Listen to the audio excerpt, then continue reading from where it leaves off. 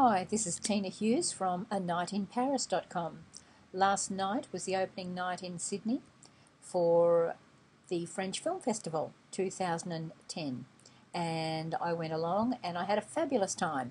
I watched the movie called LOL, L-O-L, and I thoroughly enjoyed it uh, about some teenagers and the trials and tribulations and uh, with a newly divorced mother played by Sophie Marceau, and it was really very, very good.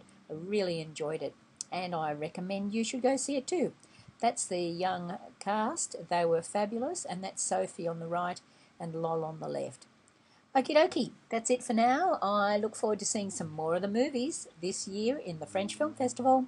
Bye bye for now. A bientôt. C'est Teena. Au revoir.